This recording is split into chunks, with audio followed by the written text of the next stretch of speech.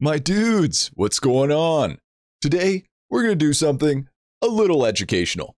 I'm going to give you guys some tips and tricks to help you progress through party dungeons and give you an idea of what to prioritize and help the run stay consistent. And I know the last couple of videos, I've been using footage from my Twitch stream. Speaking of which, go follow me. I wanted to keep this video just for the YouTube fam. So no clips from Twitch. This is going to be just recorded footage. So with that said, let's get into it.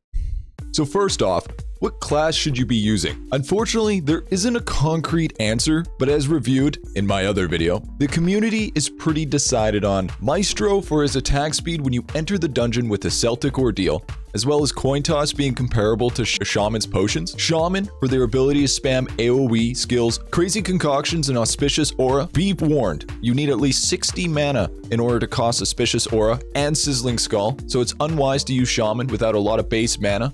This is more for late game party dungeons. Wizard for the many of the same reasons as Shaman's notable skills, Tornado and Ice Shards, as it can be used to hit multiple people and slow them. But it also faces that the lack of mana at the start, so it's better to use it later on in the more mana you start with. Squire for, well, Squire's a double whammy. It can hit multiple people with regular attacks and boasts impressive abilities like Shockwave Slash and Whirl, as well as Dagger Ring which can be useful in hitting targets in un uncommon scenarios. Highly recommended for newer Dungeoneers. And Barbarian, for its abilities to hit multiple peoples with regular attacks, and more versatile abilities than Squire, such as Bear Claw and Axe Hurl, both capable of hitting enemies above you.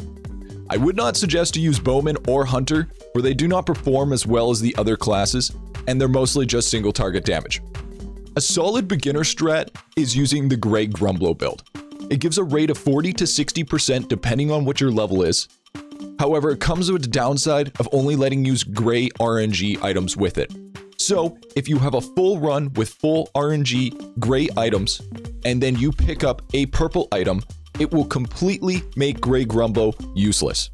It will absolutely nullify the effects, not much else to say, it's easy and pretty reliable, which can be relatively easily acquired by completing the Naked but Unafraid achievement in World 1, which is killing a poop without having anything equipped.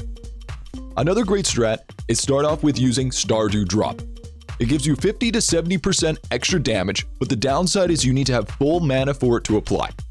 It's really good with classes that use melee a lot.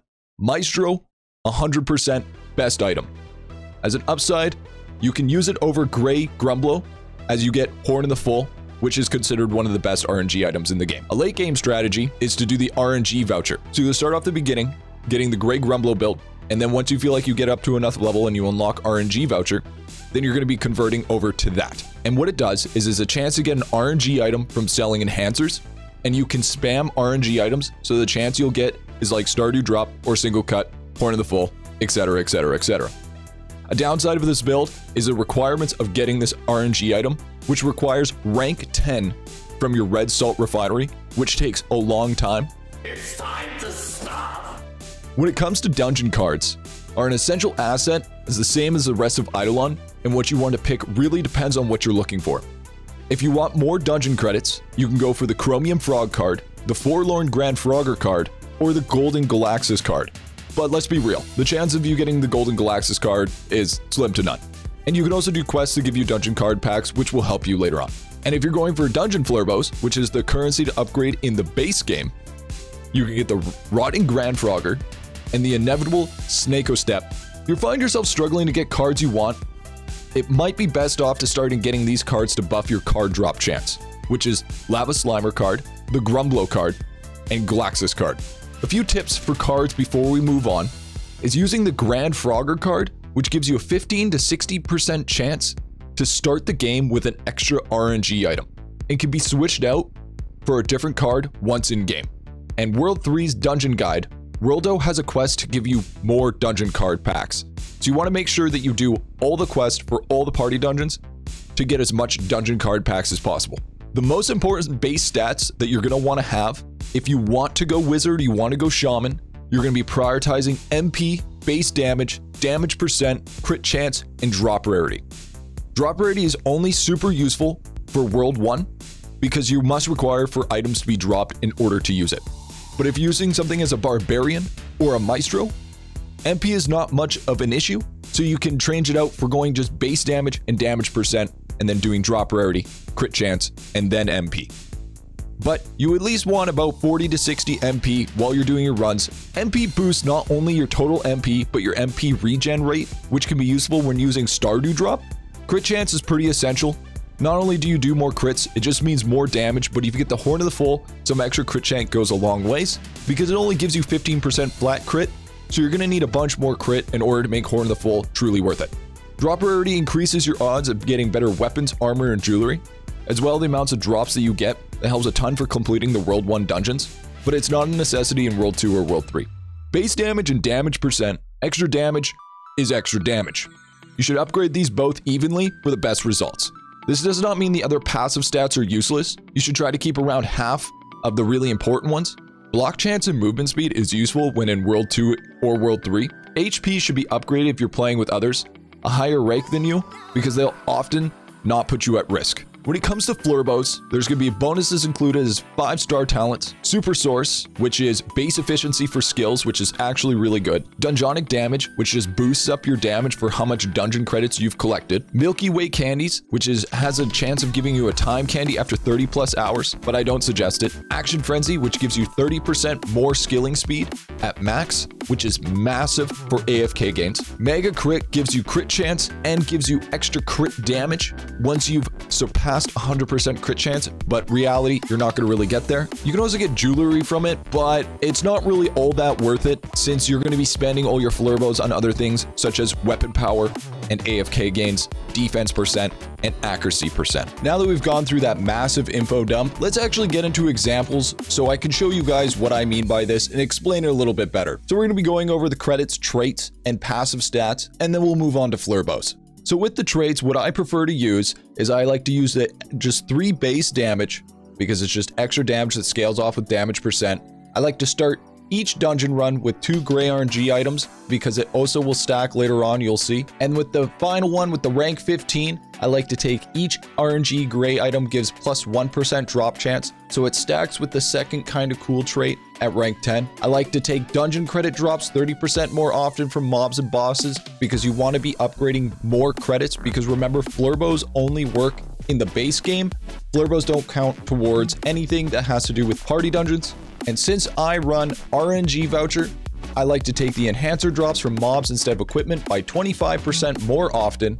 I like to take the shop prices of RNG items, scale up 15% slower for my rank 30 trait, and for my rank 35 trait, I like to take the higher rarity RNG items, aka green or better, are 25% more likely, so I have a better chance of getting RNG voucher or crit of the full, etc., etc.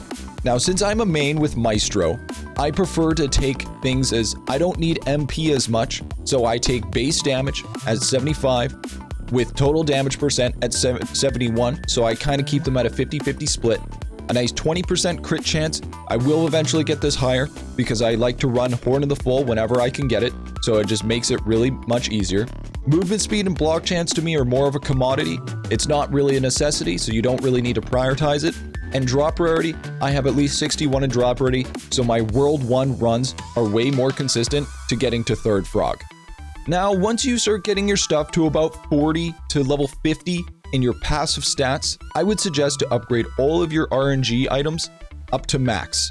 Except for Recycler, you don't have to worry about that, but every gray item you realistically want to have them maxed as soon as possible by prioritizing Stardew Drop and Grey Grumblow because those are going to be your strongest tools, especially when you're just starting out. If you don't have RNG voucher, prioritizing Grey Grumblow first will must be a priority. And if you're looking for consistent god runs, you definitely want to prioritize Sugar Rush to max out, Sharp Eye to max out. If you're doing World 1, Rabbit Paw to max out. Rusty Blade is always a good one to max. Mana Crystal is also a decent one to max. And then Handy Ice Pick is also a necessity because that makes it so you only need three of them to actually have a 100% double hit. Double hit means double damage. And Boss Skull just for that extra damage. Now, when it comes to leveling up your weapon, it depends on what class you play. If you have a lot of excess credits, level up your weapon. If you're using only Maestro, you don't need to worry about this. So you don't need to level up your weapon whatsoever because you use the Celtic Ordeal. Or Banana Hands because I know I pronounce it wrong. If you can get it to at least tier 3, then you're in a good standing, and then you can start leveling up other things because it's just going to get to a point where it's going to get super, super expensive.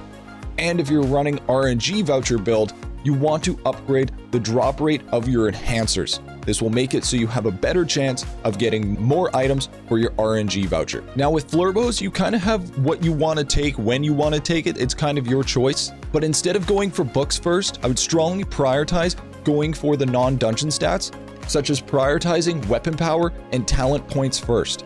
Because weapon power is just an extra 20 weapon power, well 19.2 to be exact, but it gives you that much more for your characters for dungeon to reach damage threshold and the talent points for the plus 50 because it gives you plus 50 in each tab. So that's tab 1, tab 2, tab 3, and star talent points. So if you get this maxed, you actually get a total of 200 talent points. 5% AFK gains because you can never have enough AFK gains.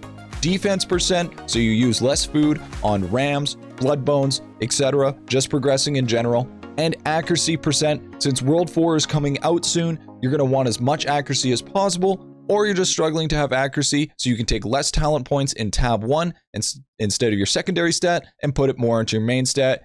And then class XP, skilling XP, and monster cash is more of just a commodity that makes you just upgrade faster. Well, that's a lot of info in one video, but I wanted to give you guys a better understanding of what to do. Tell me what you think in the comment section below. Check out my socials, I'll leave everything in a pinned comment below as well. And if you enjoyed the video, thank you for watching. And if you want to support me, make sure to like, comment, and subscribe for more future IdleOn content. And if you guys really want, I can make a video for each party dungeon and the most reliable way to complete them currently. I'm doing progression in World 3 party dungeon, trying to kill third Galaxus as the recording of this video. Anyways, tune in next week when we do our next IdleOn video. Stay safe, happy hunting, and peace out.